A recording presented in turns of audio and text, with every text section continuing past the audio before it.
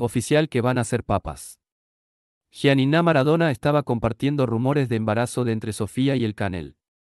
Canagüero el Canagüero y Sofía Calcetti confirmaron que serán padres y revelaron el sexo del bebé rockero y fan de Lionel Messi, quien es el nuevo tío de Benjamín Agüero, que mantiene una amistad con el Canagüero en medio de los rumores de embarazo con Sofía Calcetti.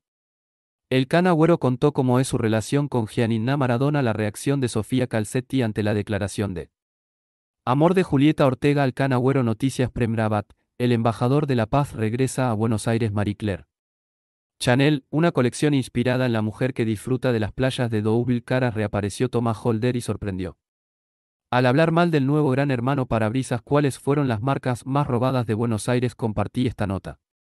Sofía Calcetti y Sergio El Canagüero hicieron oficial que van a ser papas. La actriz y el exfutbolista esperan.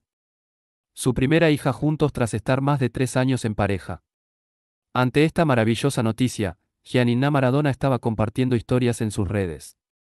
Los rumores de embarazo de entre Sofía y el Can viene rondando hace meses en el mundo del espectáculo. Mientras ambos esquivaban la noticia y lo negaban. La semana anterior en Intrusos, Flor de la Quinta, quien conduce el programa, confirmó dicha sospecha.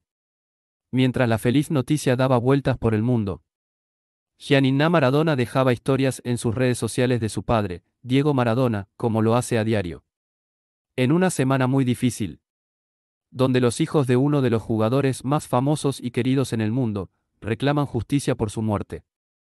Desde las redes sociales, Sofía Calcetti y el Can Agüero confirmaron que van a ser papas. Si bien el rumor estuvo instalado hace meses en los medios. La feliz pareja lo hizo oficial. Emoción inmensa. Te estamos esperando, hijita, compartieron ante el mundo Sofía Calcetti y Sergio El Can Agüero en Instagram. Además, revelaron que tendrán una niña. Mientras tanto, Gianina Maradona seguía su vida sin importarle. J.M.